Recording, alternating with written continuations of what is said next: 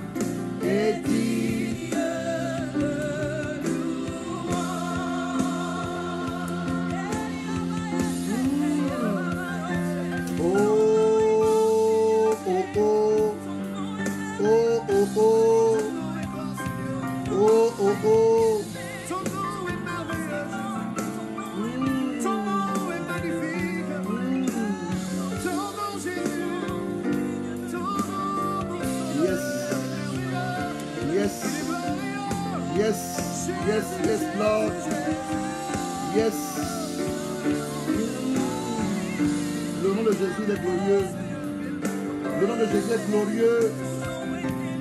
Le nom de Jésus est glorieux. Son nom est puissant. Son nom est magnifique. Dans son nom, on a le salut. Dans son nom, on a la délivrance. Dans son nom, on a la restauration. Oh yes. Oh yes. On va écouter cette adoration. Welcome uh, Bishop Kola Emiola. We just we are, we, are, we, are, we are here to worship our Lord. And when you listen to that song, oh, you cannot stay the same. You cannot stay the same. He said he only wants to worship our Lord.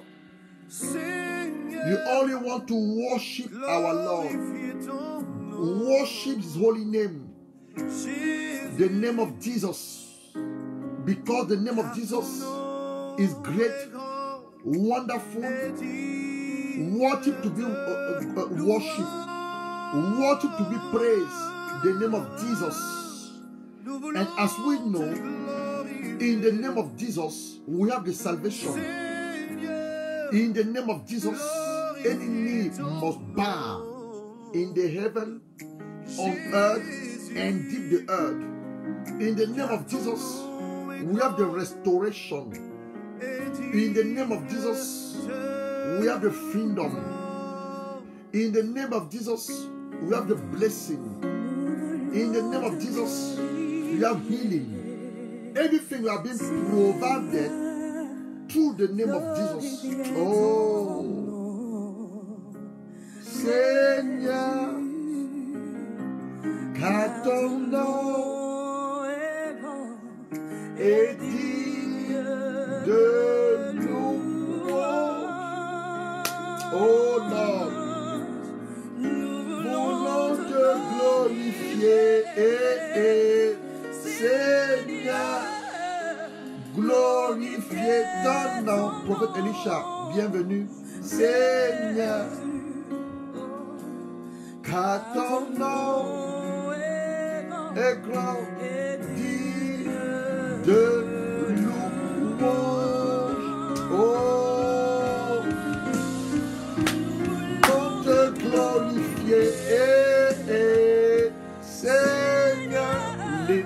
Glorifier ton nom, Seigneur, car ton nom, c'est un moment welcome, de louange. We are worship our Lord.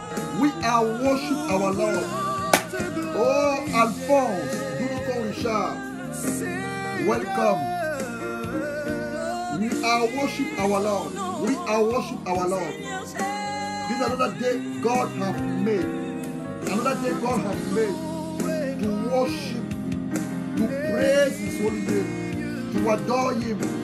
If you find yourself be alive among the living through this pandemic, worship the Lord, giving glory to Him, give thanks to His holy name. Yes, When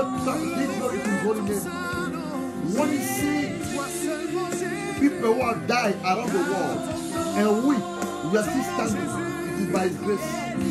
We are still alive, it is by God's grace.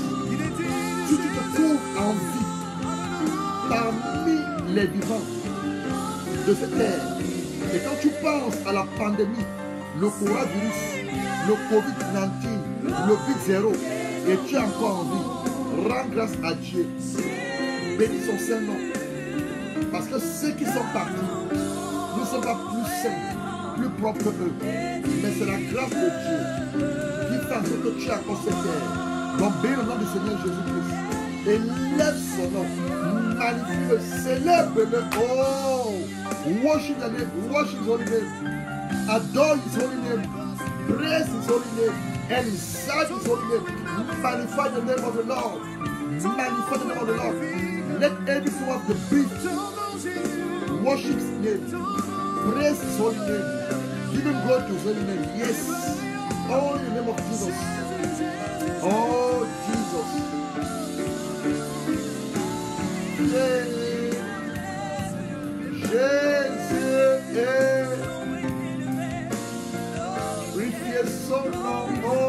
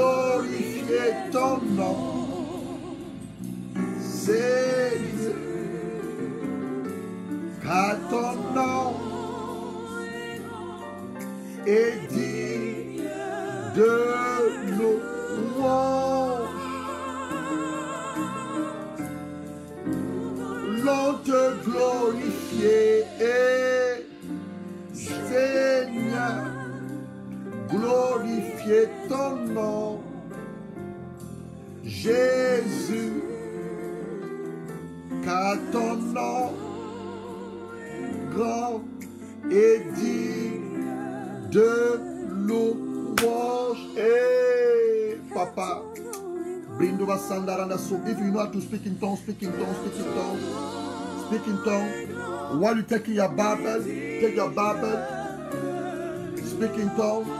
While you take your Bible, take your Bible, take your Bible. Oh, the word of God. Non est grand et digne de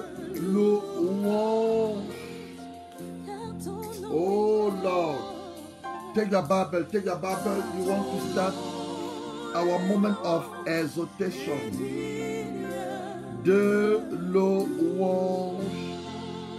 Merci Saint-Esprit. Prenons nos Bibles, nous voulons commencer le moment de exhortation. You want to exhort ourselves. Uh, I already greet each one of you. It is by God's grace that we are still standing. When you see what is happening around the world, people are dying, and we are still here. It is by God's grace. It is by God's grace, not because we are so holy or what it. No, it's by God's grace. Je disais tantôt, quand nous voyons ce qui se passe à travers la terre entière et que nous sommes encore là, c'est uniquement l'expression de l'amour de Dieu à notre égard. C'est la grâce de Dieu qui nous maintient d'être là. Donc nous devons euh, rendre des actions de grâce à notre Père, l'adorer, l'élever et l'exalter parce que il est un bon Père. Donc, uh, we want to start our exhortation. Yesterday we have a wonderful service. Yesterday we spoke about um, Jesus Christ had destroyed our old man. You must not live anymore according to the pleasure of the of, of our flesh, but you must live according to the Holy Spirit. Be filled by the Holy Spirit and be led by the Holy Spirit. That's what you talked about yesterday. Hier, on a eu un moment très bénissant la présence de notre Père. La vidéo encore là, tu peux l'écouter. On a parlé de euh, Jésus à la croix, il a crucifié le vieil homme. Donc tu ne dois plus vivre selon ton vieil homme, le vieil homme qui se corrompt par les convoitises de la chair, mais tu dois être rempli du Saint-Esprit, être conduit par le Saint-Esprit et vivre par le Saint-Esprit, marcher par l'Esprit. Et cet après-midi, we have a wonderful topic, a wonderful topic based of Romans chapter 5, Romans chapter 5 verse 20, Romans chapter 5 verse 20. Romans chapter 5 verse 19 is on in English is verse 19, in French is verse 20. Look what the word of God said. For just as no no no. For just as through disobedience the one man, the many was made sinner. So to the obedience of the one man, many will be made righteous. Verse 20. The law was added, so trespass may increase, may increase. But sin increase, grace increase all more. Donc cet après-midi, nous introduisons euh, ce thème, cette thématique. Là, le péché a abondé, la grâce de Dieu a surabondé. Romains chapitre 5, le verset 20. Donc nous voulons nous exhorter. We are on the 21st of May 2020. Nous sommes le 21 mai 2020. The month of May is the fifth month of the year. Number fifth is famous to be the number of grace. Le, le mois de mai est le cinquième mois de l'année et le chiffre 5 est le chiffre connu pour le mois, pour le mois, le chiffre de la grâce. Donc nous sommes dans le, dans- nous sommes dans le mois de la grâce. Pas n'importe quelle grâce, pas une grâce présidentielle, mais une grâce divine accordée par Dieu le Père. It's not, it's not like ordinary grace. It's not like the present, presidential grace, but it's a divine grace given to us by God our Father. But before you go deep to our teaching, because the word of God said, where sin abound, where sin increase, the grace increase all more. But we need to understand what sin is about, what the origin of the sin, what is the consequence of the sin before get deeper to the grace who are born.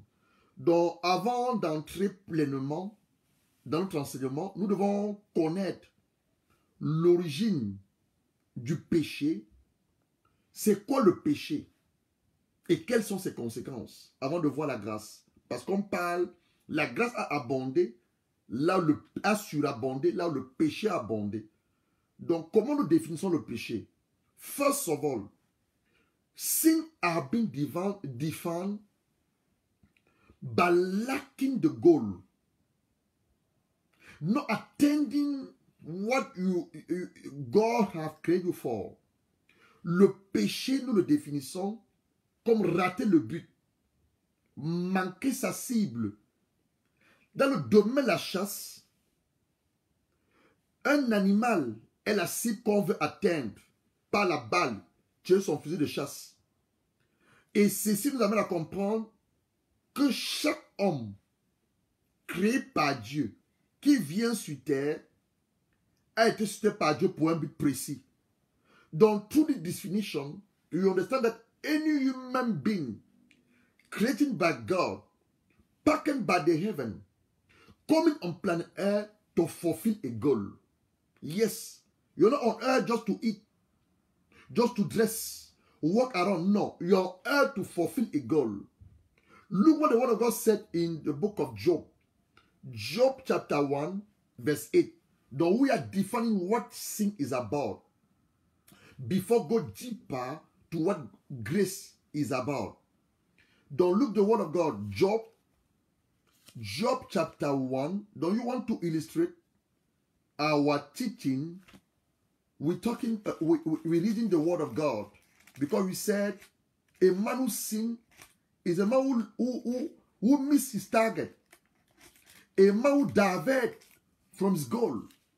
Donc un homme qui pêche, c'est quelqu'un qui rate le but. C'est quelqu'un qui marque sa cible. C'est quelqu'un qui connaît les raisons pour lesquelles il est sur la terre, pour lesquelles Dieu l'a créé. Et nous voulons dans nos propos en lisant la parole de Dieu. Dans Luke, the, the word of God, Job, Job is before the book of Psalm, before the book of Psalm. Job chapter 1, Job chapter 1, Job chapter 1, verse 8. Monsieur Ricardo Nanambachu, tu es la bienvenue. Welcome.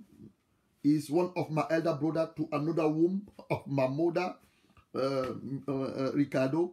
Job chapter 1, verse 8. Look what the word of God said. God is speaking now to Satan. Then the Lord said to Satan, Have you considered my servant Job? There's no one on earth like him. He's blameless and unwrapped. A man who fear God, a man who fear God and shun evil. You see? Donc, uh, uh, uh, the word of God revealed to us this. I'm going to read that also in French. L'Éternel dit à Satan, As-tu remarqué mon serviteur Job? Il n'y a personne comme lui sur la terre. C'est un homme intègre, droit, craignant Dieu et se détournant du mal. Donc ici, Dieu nous présente Job comme son serviteur. Donc Job n'est pas sur la terre comme tous les autres hommes à son époque. Job sur la terre était serviteur de Dieu. Il ne s'arrête pas là. Il nous définit maintenant, il nous illustre les caractères de Job. Job était un homme intègre. Job était un homme droit. Job était un homme qui craignait Dieu. Et Job était un homme qui se détournait du mal. Donc hier, God revealed to us that Job was his servant. He was not only the servant of God, he was also a blameless, blame, blameless man. He was an upright man. He was a man who was fearing God. And he was man who was run against evil. We continue to read, uh, we continue to illustrate our topic. Jeremiah chapter 1, verse 5. Jérémie chapitre 1, le verset 5. Jeremiah, we are still on the Old Testament. Jeremiah chapter 1, Jeremiah chapter 1, verse 5. Look the word of God. Before I formed you in the womb, I knew you. Before you was born, I set you apart. I appoint you as a prophet of nation. Don't hier, we're still reading the word of God. And the word of God revealed to Jeremiah. And I want to believe and I want to pray. As I'm reading the word of God, the Holy Spirit to remove some scale into your eyes and to make you to understand you are not on earth ordinary. There's a purpose beyond your life. There's a assignment beyond, beyond your, your life. There's a mandate beyond your life. Je voudrais croire le Père. Pendant que je lis sa parole, le Saint-Esprit de ôter les écailles de vos yeux, le voile d'être brisé, et que Dieu, par son amour, par sa bonté, par son esprit, vous révèle parfaitement ce pourquoi vous êtes sur la terre. Vous n'êtes pas sur la terre comme tous les hommes. Tu es sur la terre parce qu'il y a un plan au devant ta vie. Tu es sur la terre parce qu'il y a un, mandat qui t'est assigné. Il y a une mission que Dieu t'a confiée. Il y a une vision que Dieu a mis à ton esprit. Donc regardez la parole de Dieu. Jérémie chapitre 1, le verset 5. La parole de Dieu nous dit ceci. Avant que je te eusse formé, Jérémie, avant que je fusse formé, before I formed you, nomon mangalizo, I knew you. That's what the word of God said. Je te connaissais. Avant que tu fusses sorti du sein de ta mère, je t'avais consacré, je t'avais établi prophète des nations. Donc Jérémie, sa mission sur la terre, son but sur la terre, prophète des nations. Annoncer aux nations la parole de Dieu par l'ensemble prophétique. Annoncer aux nations la volonté de Dieu par l'Esprit Saint. Donc, Jeremiah, his purpose on earth, it was to reveal the incoming event, the future event to the nation, to the Spirit of God. That was the goal of Jere- Jeremiah. We are continuing to reading our, our word of God. You want now to discover John, John the Baptist. Maintenant, nous voulons voir l'histoire de Jean, Jean the Baptist. Luke, the Gospel of Luke, Luke chapter 1, verse 15. Luke chapter 1, verse 15. Open your Bible into the Gospel of Luke. Luke chapter 1, verse 15. Luke chapter 1, verse 15. The, word of God revealed this. The, the angel going to speak to Zachariah, the father of John, and he will reveal to his father what John going to become. Verse 15. John will be great in the sight of the Lord. He will never to take one or other fermented drink, and he will be filled with the Holy Spirit even from birth. Many of people of Israel, he will bring back to the Lord their God, and he will go before the Lord in the spirit and the power of Elijah to turn the heart of the fathers to the children and to the disobedient to the wisdom of the righteous to make ready people prepare for the Lord. Donc this was the assignment of Jeremiah on earth. Sorry, of John on earth. This was the mandate, the goal of John the Baptist on earth. Donc if John didn't accomplish this, he didn't fulfill this, he should have sinned. He should have lost his target. He, he, he, he should goal. Donc nous allons, nous également le, le en, en français, comme c'est un enseignement bilingue en français. Jean. Jean va être grand devant le Seigneur. Il ne boira ni vin, ni liqueur enivrant. Il sera rempli de l'Esprit Saint. Dès le sein de sa mère, il va ramener plusieurs fils d'Israël au Seigneur, leur Dieu. Il marchera devant Dieu avec l'esprit et la puissance de Élie pour ramener le cœur des pères vers les enfants et les rebelles à la sagesse des justes afin de préparer au Seigneur un peuple bien disposé. Donc si Jean faisait autre chose, il, avait, aurait péché.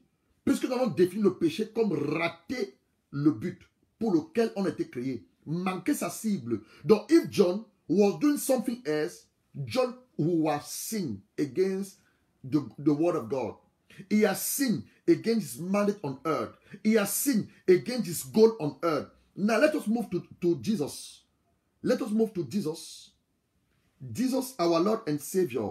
And John was the the, the, the, the, the, the, messenger who was, who was supposed to go before the arrival of Jesus. Donc now look, the, look Jesus. Look Jesus. Luke chapter, we still on, on the Gospel of Luke. Luke chapter 1, verse 31 to 33. Luke chapter 1, verse 31 to 33. Now, the same angel have been sent to the Virgin Mary, the mother of Jesus. Now, he's going to reveal to her what to happen. You are still on the Gospel of Luke, Luke chapter 1, verse 31. You will be with a child and give birth to a son. You have to give the name of Jesus. Verse 32. He will be great and be called the Son of the Most High God. The Lord God will give him the throne of his father David. He will reign over the house of Jacob forever, and his kingdom will never have an end. Donc ça, c'est l'histoire maintenant de Jésus. Jésus, l'ange Gabriel se révèle à la mère de Jésus, la Vierge Marie à l'époque. Elle n'est pas restée vierge, elle a deux enfants. Tu deviendras enceinte par la vertu et la puissance du Saint-Esprit. Tu enfanteras un fils, tu donneras le nom de Jésus. Il sera grand, il sera appelé le Fils du Dieu très haut. Et le Seigneur Dieu lui donnera le trône de David, son père. Il ira sur la maison de Jacob éternellement et son règne n'aura point de fin. Donc voilà une des missions de Jésus. Voilà un des mandats de la venue de Jésus. Si Jésus n'avait pas accompli ça, lui aussi n'aurait pas, il serait pas, il n'aurait, pas, il aurait, il aurait également péché. Mais Jésus a accompli totalement tout ce qui avait été écrit le concernant. Maintenant, en toi, ce qui te concerne. Now, us. What concerning us? Because we define sin as missing our target. We define sin as not attaining what God has called us for. Maintenant, ce qui nous concerne. Est-ce que tu train d'accomplir la mission pour laquelle Dieu t'a créé? Est-ce que tu es en train de euh, euh, euh, faire cette vision pour laquelle tu es sur la terre? Parce qu'on a défini péché, c'est de rater le but. Manquer sa cible. Est-ce que tu es en train de le faire? Nous voulons ici maintenant enfoncer notre, notre enseignement pour parler d'avortement. Now, I want to talk about abortion because it was, it was something the Holy Spirit laid into my spirit. When you see the statistic around the world or in the world, every single year, million, I don't know if billion, women commit abortion. Abortion is a sin. Abortion is a crime. Je voudrais maintenant parler du, de l'avortement, qui est un crime. Tu es un être vivant, peu, peu, peu importe le stade de la grossesse ou le nombre de la semaine. Exodus chapter 20, verse 13. Exodus chapter 20, verse 13. Exodus 20, verse 13. You shall not murder. Abortion is a murder. You killing a product of God. You killing an unborn child coming from the Lord to assign a purpose on earth. Genesis, Genesis chapter 9, verse 5. Genesis chapter 9, verse 5. Genesis, Genèse chapitre 9, le verset 5. And for you and for your love, love blood, I will surely demand an account, an accounting. I will demand an accounting from every animals and from every man too.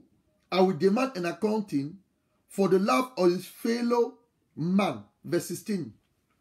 Whoever shed the blood of the man, but a man, his blood be shed. For he is in the image of God. For God have made a man. Now, let us move to Leviticus 17. Leviticus 17, verse 11. Sachez-le aussi, je redemandais le sang de vos âmes. Je demandais à tout animal. Je demandais à l'âme de l'homme, à l'homme, et à l'homme qui est son frère. Lévitique 17, le verset 11. Car l'âme de la chair est dans le sang. Je vous l'ai donné sur l'autel afin qu'il serve d'expiation pour vos âmes.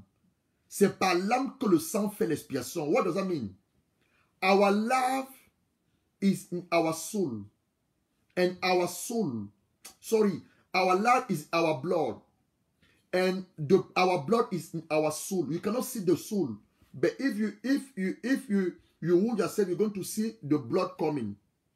Though the word of God just remind us here that any woman who are being pregnant, whatever be the circumstance, whatever be the condition, you are not allowed to commit abortion.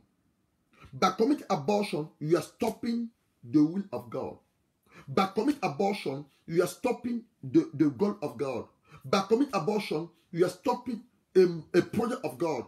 God, through that man, supposed to bring maybe the vaccine of the pandemic people that the doctor are looking at the moment. You don't, you, you are not aware. Family of pleasure, you find yourself being pregnant. And in your thought, you decide not, no, no, no, I cannot have that child. I need to abort that child. You're committing a crime. Though you need to ask God forgiveness. When I was looking for the statistic around the world, in 2014, 56 billion of women have abortion. 2014. Now we are in 2020, six years after. Just imagine how many women get aborted. It's not only women who commit abortion. You also a man who are pregnant a woman and you are decide to that woman to stop the abortion, you also have sinned.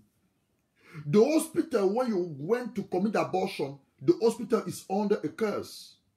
The, the doctor or the the the the the the the, the, the, the, the, worst woman who are come who are heavy to commit that abortion or her, her, her to have sinned. Donc en 2014, 56 millions de, euh, de interruptions volontaires de grossesse ont été commises dans le monde. En 2014, nous sommes en 2020. Combien de millions d'enfants qui devaient venir sur cette terre, les femmes, les hommes les ont encouragés d'interrompre la grossesse? Peu importe les raisons, nous avons péché. Raison pour laquelle, if you now, listen to me, you are commit abortion or you encourage somebody to commit abortion, we're going to ask God to forgive us. Because you have stopped the plan of God. We have delayed what God was about to do on earth. Though the moment is now for us to, to ask God to forgive us. Now, if you are listening to me and you are young, you are a young girl, you are a young woman, you are not married yet, or you are going to the marriage, my, my sister, listen to what I'm saying to you through the Spirit of the Living God. Do not commit abortion. Whatever be the reason, do not commit abortion. We sin against the word of God and you sin against God. Now you want to ask God to forgive us. Let us pray. Father Lord, we acknowledge through the revelation of your word that we have sinned, Sin and sin against you. All the time that when we encourage women to go abroad, the pregnancy, we have made them pregnant. All the time when we encourage some people to go to the hospital and to stop the pregnancy, we are sin against you. That's what this afternoon we are coming with humility before your altar of grace to call upon your mercy, to obtain your grace, that the sin of abortion that we are committed, you may forgive those sins. You may remove the curse upon our life, the curse of abortion, and you may neutralize by the blood of Jesus the curse of the abortion. Father Lord, have mercy toward us. Have mercy towards all those women who commit abortion around the world every single year. Have mercy, oh Father Lord, to those hospitals where they're going to commit abortion. Have mercy oh, upon the life of all the doctor, the worst women who make them to commit abortion. Let the blood of Jesus Christ sanctify our soul Let the blood of Jesus Christ purify our soul. Let the blood of Christ uh, uh, uh, set us free from that sin of abortion. In the name of your son Jesus Christ. Let us pray also in French. Tous ceux-là qui commettent les, les avortements, ce que vous ne savez pas, en commettant l'avortement, tu bâtis ce qu'on appelle un hôtel d'avortement. Et tu vas voir que tout ce que tu essaies de faire dans ta vie, rien n'avance, rien ne marche. À cause de cet enfant qui est venu sur la terre, dont le sang ou la voix de crier devant Dieu pour la justice. Donc allons maintenant prier pour demander pardon à Dieu, un peu sa miséricorde, afin qu'il puisse nous pardonner et que le sang de Jésus-Christ puisse nous laver. Les hôpitaux nous sommes allés commettre les avortements. Les docteurs qui nous ont aidés à commettre ces avortements, demander également pardon à Dieu pour leur vie, demander pardon à Dieu pour ces hôpitaux, que Dieu, par sa miséricorde et tout par la puissance du sang de Christ, il neutralise ces, malédictions et il les, a- il les ôte de nos vies. Parce que ces choses nous bloquent dans l'avancement de notre, l'avancement et la marche de notre destinée. Prions ensemble. Notre Père, à la lumière de ta parole, nous avons compris une chose. Nous avons commis des avortements. Nous avons encouragé des femmes que nous avons engrossées. Des femmes qui sont tombées enceintes de nous à commettre des avortements. Père, nous avons péché contre toi. Nous avons péché contre toi. Les hôpitaux là où elles sont faites avorter, les médecins qui les ont aidés à avorter, les sages-femmes qui les ont aidés à avorter, elles ont péché également contre toi. Nous implorons ta miséricorde, notre Père qui est dans les cieux. Nous implorons ta miséricorde de nous pardonner, Père, de pardonner ces femmes qui ont interrompu ces grossesses, de pardonner ces hôpitaux là où les grossesses ont été interrompues, de pardonner les médecins qui ont pratiqué ces avortements, de pardonner les, les, les sages-femmes qui ont pratiqué ces avortements et de surtout ôter la malédiction de la malédiction d'avortement au devant de nos vies. Tout ce que nous faisons aujourd'hui, nous sommes bloqués à cause du sang innocent que nous avons interrompu. À cause de cet enfant qui est venu sur cette terre, dont tu avais un plan pour sa destinée. Tu avais un malheur pour sa destinée, que nous avons décidé d'avorter. Mon Père, nous te supplions au nom de ton Fils Christ. ôte cette malédiction de nos vies. Enlève cette malédiction de nos vies. Revois cette malédiction de ces hôpitaux. Revois cette malédiction de ces médecins. Revois cette malédiction de ces sages femmes. Au nom puissant du Seigneur Jésus-Christ. Et rends-nous totalement libres, Père. Rends-nous totalement libres. Et que nous ayons la conscience de ne plus jamais commettre ces actes odieux et abominables. Et, euh, et que ta paix nous soit accordée au nom de ton Fils Jésus-Christ. Maintenant, jeune femme, tu es une jeune femme, tu es une jeune fille, tu veux m'écouter maintenant, ne commets jamais d'avortement, quelles que soient les circonstances ou les conditions. Tu tombes enceinte, tu dois accoucher. Sinon, euh, tu as connu la vérité aujourd'hui, Dieu te demandera des comptes pour ce que tu auras euh, commis comme péché. Donc, ne commettons plus d'avortement et n'encourageons plus les gens à aller se faire avorter. Une personne tombe enceinte, elle doit mettre au monde cet enfant. Donc, c'était la première définition du péché. Donc, that was the first definition of the sin. We said sin is to miss the target. Sin is to not attain our goal. C'était la première définition du péché. La première définition du péché, c'est de manquer le but. Ne pas atteindre sa cible. Tu étais créé pour un but. Dieu t'a mandaté sur la terre pour que tu puisses accomplir quelque chose. C'était la première définition du péché. Deuxième définition du péché, c'est la rébellion contre la parole de Dieu et contre Dieu. Second definition of sin is rebel against the word of God and against God. Genesis chapter 2, verse 17. Genesis chapter 2, verse 17. God will speak to Adam. He said to Adam, You must not eat from the tree of the knowledge of good and evil. For when you eat it, you will surely die. But before that, he gave a, a command to Adam. He said to Adam in verse 15 to walk the garden and to take care of the garden. Donc Adam supposed to walk in the garden and take care of the garden and not eat the fruit of the tree of the knowledge and good of evil. The day Adam supposed to eat it, he will surely die. Donc that was what that was the word God gave to Adam. And Adam, in Genesis chapter 3, he ate that tree and he has sinned.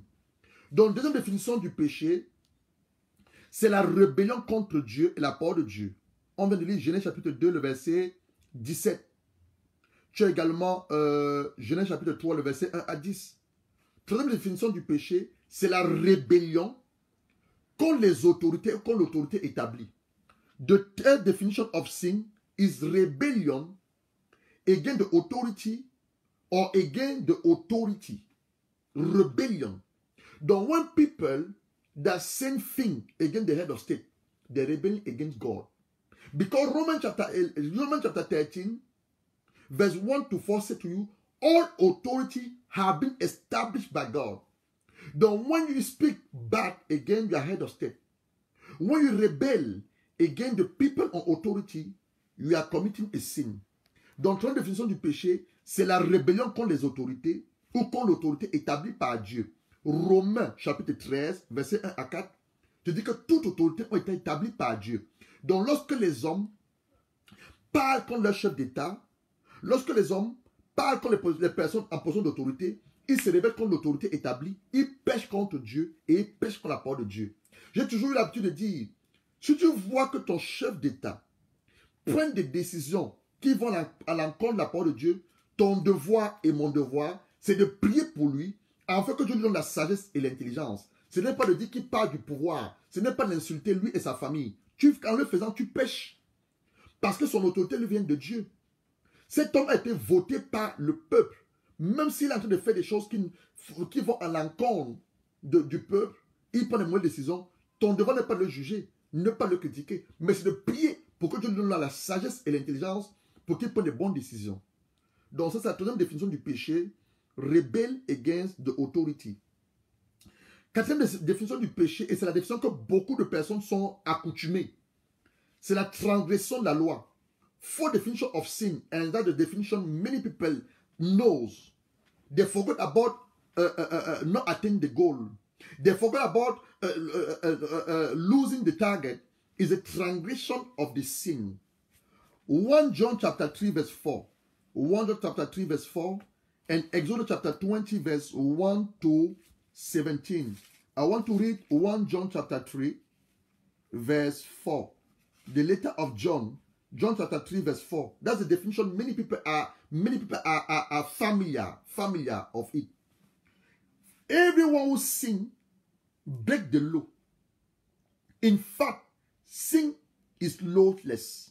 That's the definition many people are aware.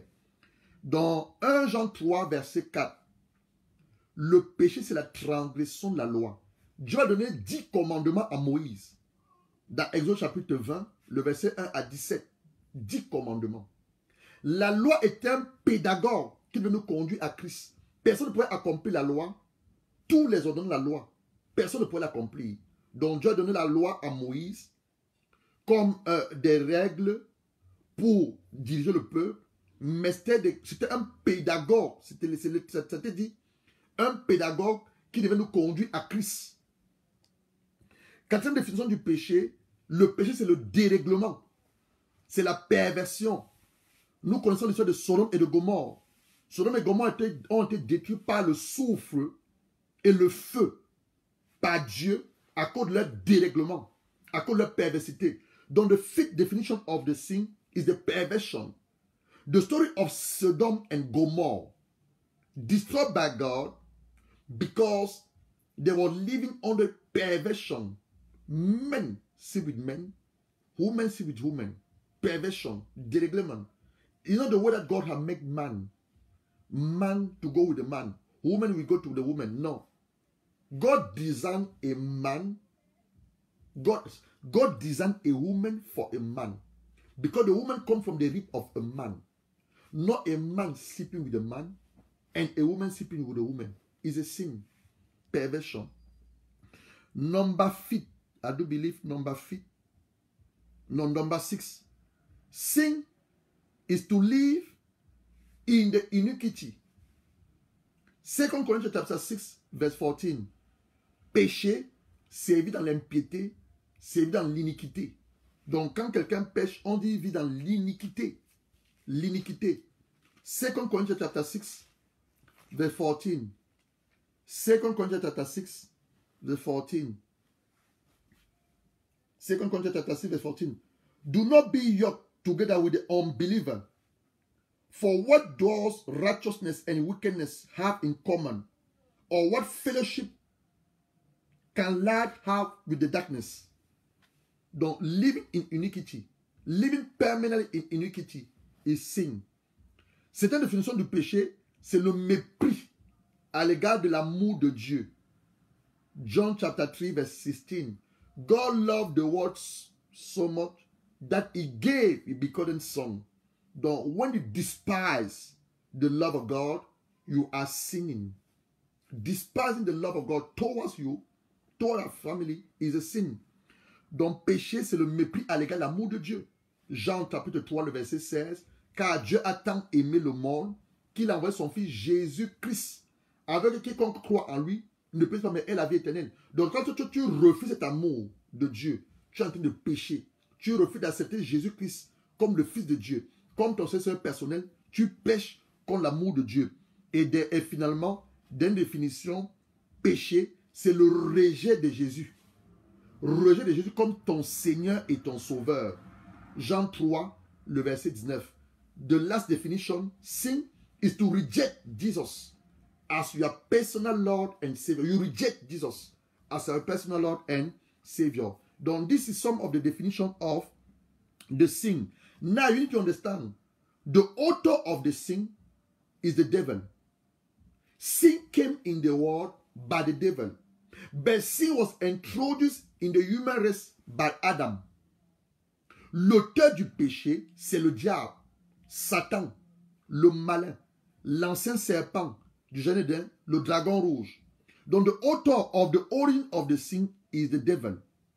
But the sin came in the human race. Adam was the one who introduced sin in the human race. Adam was the one who introduced sin in mankind. Let us read the letter of John. First John chapter 3, verse 8. First John chapter 3, verse 8.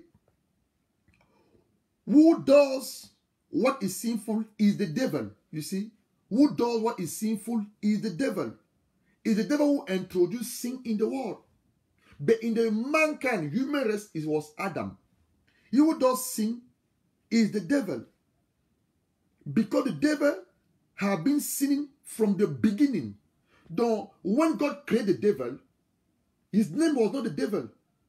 God created Lucifer. Lucifer became the devil by rebelling himself against his master. That's why he have the name of the devil.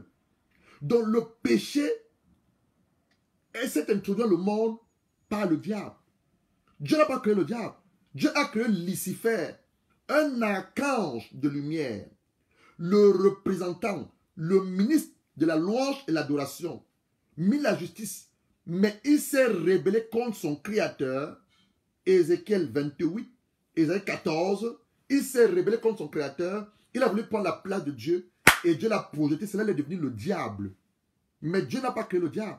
Dieu a créé Lucifer, un archange, un ange puissant, responsable de la louange et de l'adoration, responsable du ministère de la justice. Mais il s'est détourné de Dieu. L'orgueil s'est fait trouver dans son cœur. Il a voulu prendre la place de Dieu et Dieu l'a projeté sur la terre. C'est là qu'il a reçu le nom du diable.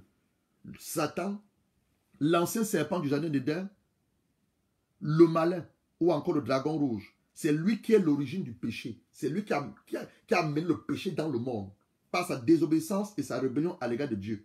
Mais dans l'être humain, c'est Adam qui a introduit le péché dans la race humaine, dans l'humanité, dans la race humaine. Mais dans le monde, c'est monsieur le diable. Jean 8, verset 44. Jean 8, verset 44.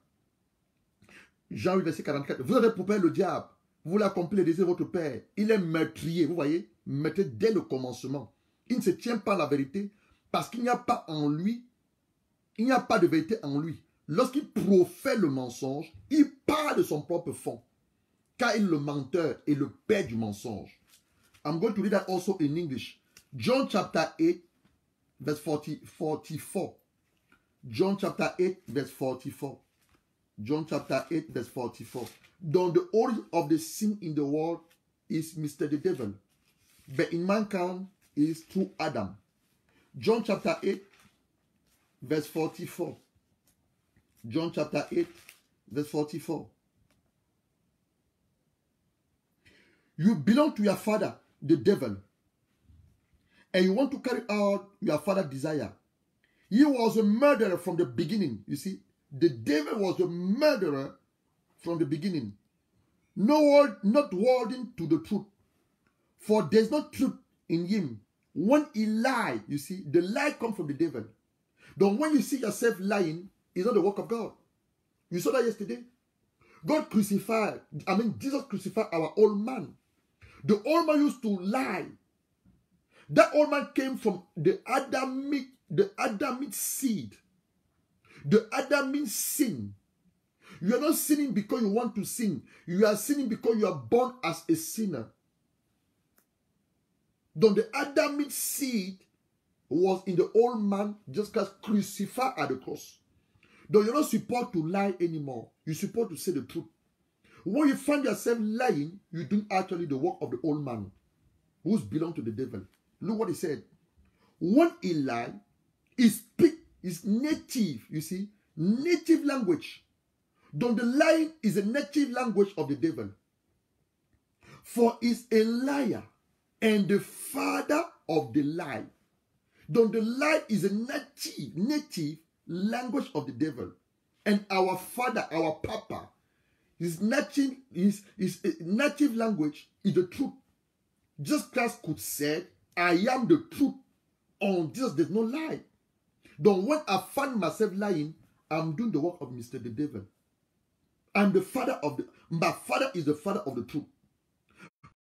My, Lord and Savior, He said is the truth. Though I must say the truth at all the time. Regardless of the situation, regardless of the condition I find myself through. Donc le, le, le mensonge, le père du mensonge, c'est le diable. Donc lorsque tu mens, tu es en train simplement d'exprimer ta vieille nature. On a vu hier que la vieille nature, ton vieil homme, a été crucifié à la croix par Jésus-Christ il y a plus de 2000 années. Donc tu n'es pas supposé mentir. Quelle que soit la situation dans laquelle tu te trouves, la condition, tu ne dois pas mentir. Parce qu'en mentant, tu te deviens un agent, un agent, de, un agent de Satan. En, en, en, profanant le mensonge, tu accomplis les œuvres, les œuvres des ténèbres, les œuvres du diable. Or que tu es enfant de lumière. Ton père est le père de la lumière. Et ton grand frère, ton Saint, sauveur personnel, Jésus-Christ, il est la vérité. Donc ce que Jésus dit, c'est la vérité. Il est la vérité. Et toi, Jésus est en toi. Donc nous sommes supposés dire la, vérité. Nous avons déjà dit que le péché s'est introduit dans la race humaine par Adam. De Romains chapitre 5, le verset 12. Romains chapitre 5, verset, verset 12. C'est pourquoi, comme par un seul homme, le péché est entré dans le monde, et par le péché, la mort. Ainsi, la mort s'est étendue sur tous les hommes parce que tous ont péché. Donc, vous voyez, dans le péché s'est introduit dans la vie des hommes par Adam. Et j'ai dit tantôt, on ne pêche parce que nous voulons pécher. Nous péchons parce que nous naissons pécheurs. Tu es né pécheur. Mais la bonne nouvelle, Jésus, Jésus t'a sauvé tes péchés. Donc tu n'es plus pécheur. Tu es un homme sanctifié. Okay, I hope somebody listen to what I'm saying. Romans chapter 5 verse 12. We are closing with that. Romans chapter 5 verse 12. Therefore, just as sin entered the world through one man, Adam, and death through sin, and this way death came to all men because all that sin. Remember Romans chapter 3, verse 23. Romans chapter 3, verse 23. For all have sinned and fall short of the glory of God. Then when Adam sinned, he was in the rib of Adam. When Adam sinned, we also sin.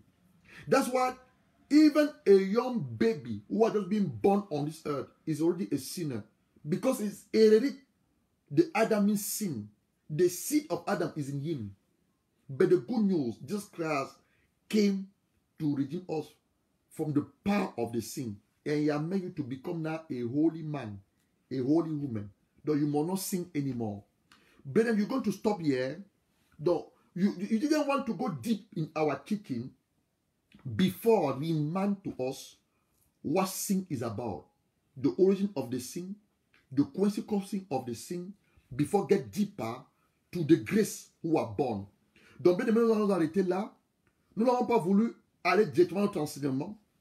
La grâce qui a surabondé dans le péché a abondé, sans nous rappeler l'origine du péché, l'origine du péché, la définition du péché et les conséquences du péché. Dans la semaine prochaine, par la grâce de Dieu, lundi, nous allons entrer dans notre sujet. Là, le péché a abondé, la grâce de Dieu a surabondé. Bien-aimé, toi maintenant qui m'as écouté, et l'Esprit de Dieu a mis la conscience dans ton esprit, que tu n'es pas en paix avec Dieu. Et tu veux faire la paix avec Dieu. Tu es loin de Dieu et tu veux revenir à Dieu. Je parle à prier la nouvelle naissance par la foi. Donc, my beloved, you just listen to me and you hear me speaking and you find deep into your heart you was far away from the Lord. You want to rededicate your life to God. You want to come back in the house of God. I want to pray with you. I want to pray with you now. Let us pray. Let us pray. Repeat this prayer after me. Father Lord, I hear your servant speaking and is demonstrate and it illustrates through your word what sin is about. And I found myself, I was missing my target. I was doing what I was not calling to do. I was far away from you through my sin. Father Lord, I come, I, I come into the altar of this this afternoon through the blood of the Son Jesus Christ and in the name of Jesus Christ um, with the humility to ask you to forgive me. Forgive my sin, oh my Lord.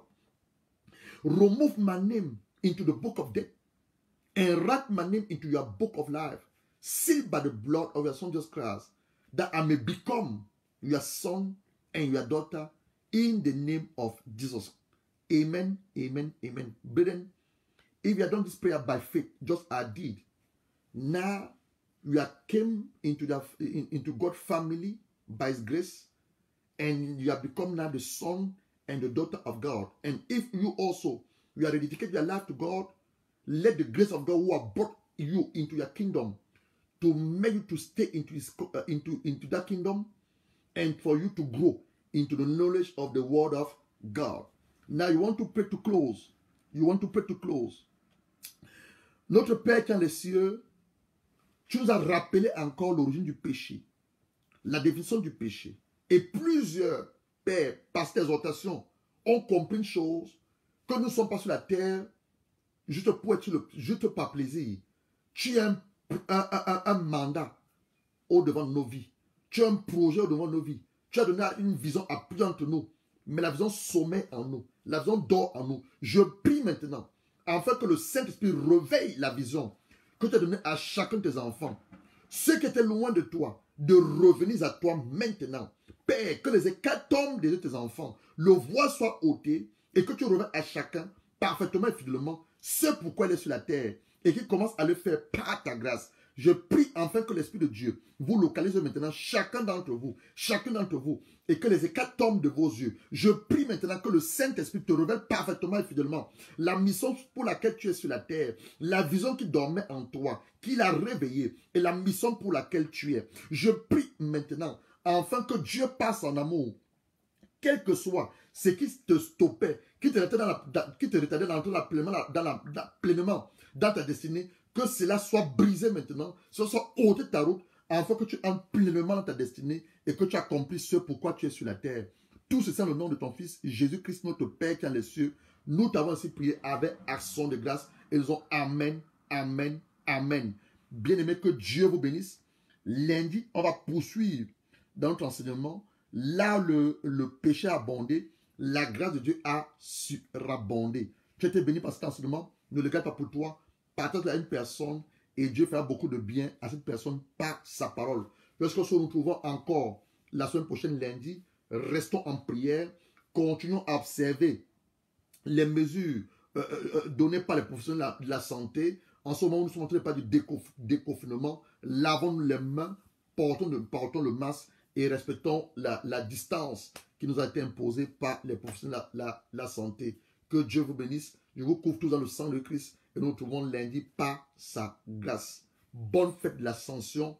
L'ascension, ce n'est que la montée de Jésus-Christ euh, vers son Père dans le ciel. Et le, je crois que c'est le lundi 1er juin, nous allons commémorer la fête de l'ascension qui n'est autre que l'effusion du Saint-Esprit dans la vie des apôtres.